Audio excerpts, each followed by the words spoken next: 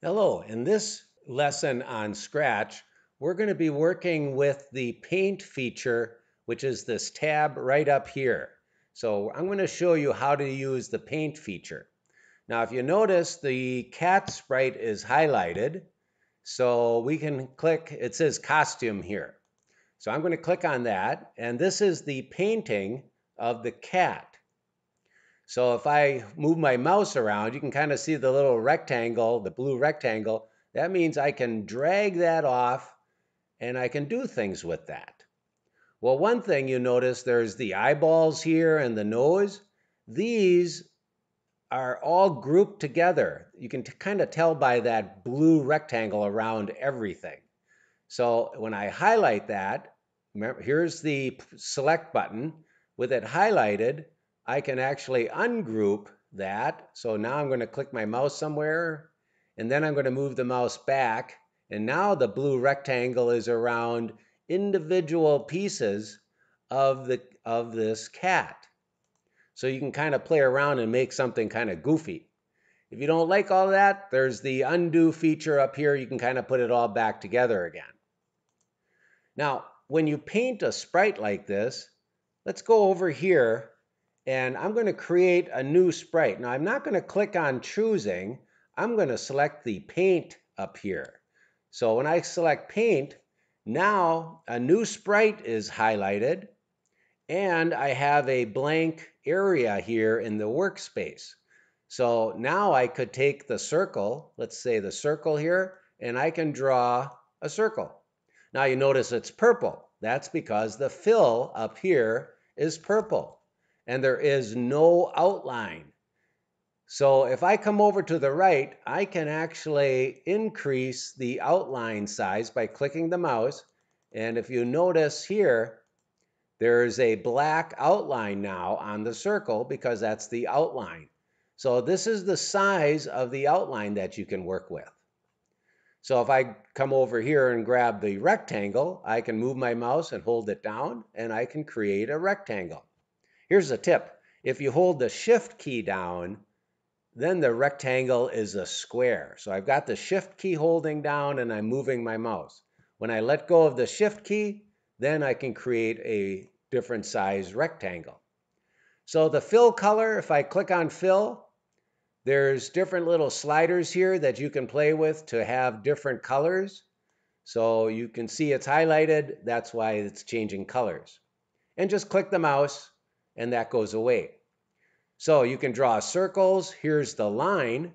One thing about the line, when I click on it, it comes up here. This is how thick it's going to be. So if I drag my mouse, that's how thick it is.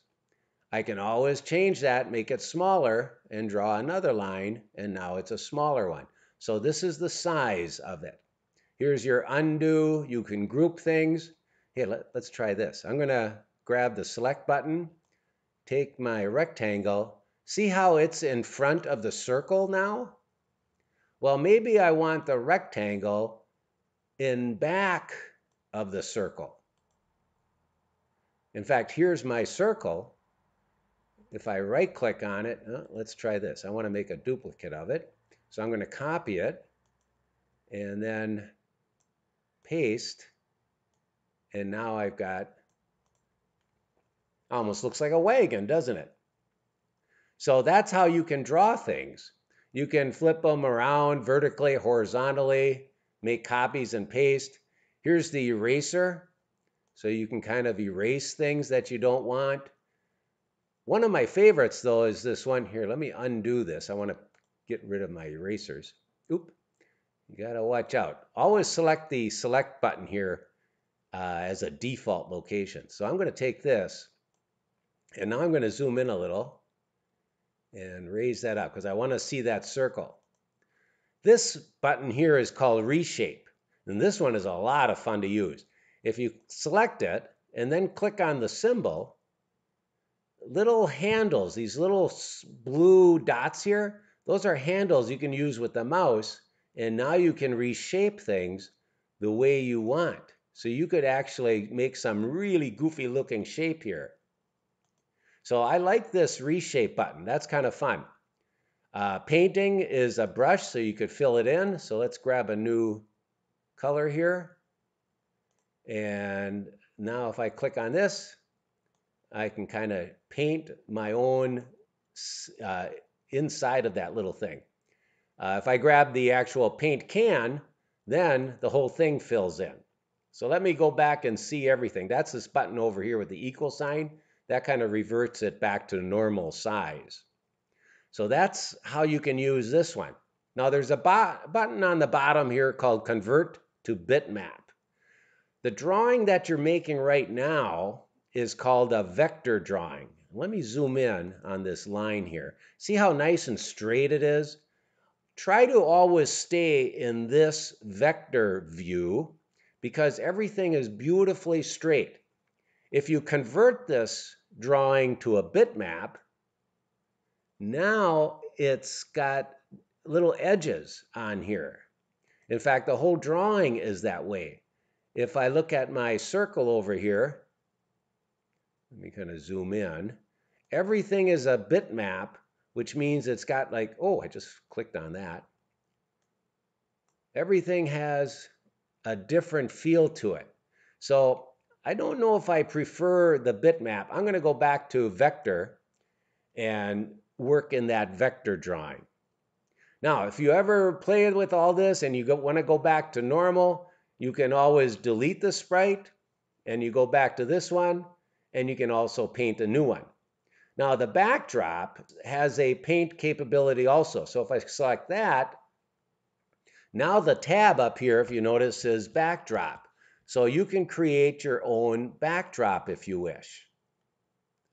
So you can always come over here and paint a new sprite or paint a new backdrop, but I would always try to stay in vector mode and not convert to bitmap. So stay in this drawing here and uh, you can have a lot of fun with that.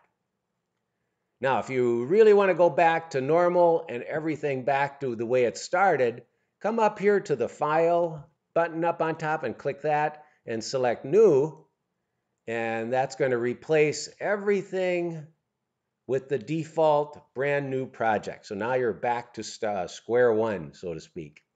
So that's how you use this paint feature. So you could create sprites and backdrop and then go back to the code and make sure you're writing code for the correct sprite that you've chosen.